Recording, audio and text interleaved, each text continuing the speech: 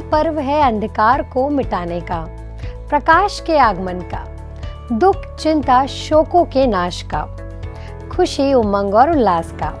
यह त्योहार है रावण रूपी बुराइयों पर जीत का और राम रूपी अच्छाइयों की वापसी का।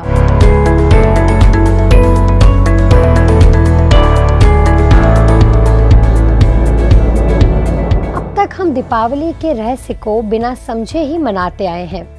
लेकिन क्या केवल बाहरी सफ़ाई, साज सजावट और गिफ्ट की लेन देन ही सही मायने में दिवाली मनाना है? या इस पर्व का कोई और भी खास अर्थ है? देखिए दिवाली के आध्यात्मिक रहस्य पर यह विशेष रिपोर्ट। दीपावली में पहला महत्व है सफ़ाई का।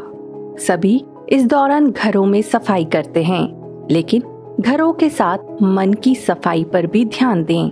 जब तक मन साफ़ नहीं, श्री लक्ष्मी कैसे आ सकती है? जहाँ पुरानी बातें जमी होंगी, वहाँ पवित्रता, दिव्यता कैसे आएगी? जहाँ मन में बह रहे, वहाँ सफ़ाई कैसे होगी? लिहाजा मन के कोने कोने की जाँच करें। जैसे जैसे आप मन की सफ़ाई करेंगे, आत्मा के पुराने संस्कार खत्म होंगे और नए संस्कार उभरेंगे। दिवाली में दूसरा महत्व है नवीनता का। हर चीज़ दिवाली में नई खरीदी जाती है। घरों को रंगते हैं मतलब अपनी आत्मा को अच्छे और नए संस्कारों का रंग लगाना।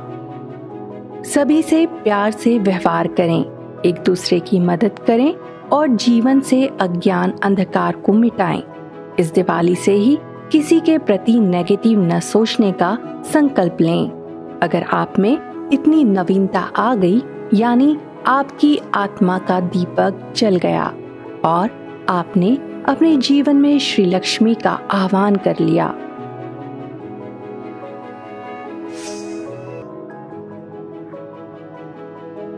दिवाली में तीसरा महत्व है गिफ्ट देने का, यानी हर कर्म करते हुए आप सबको कुछ दें।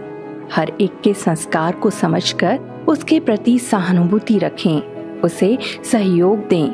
मन, वचन और कर्म से सभी को सुख दें। इससे आपकी आत्मा दिव्य गुणों से भरपूर रहेगी।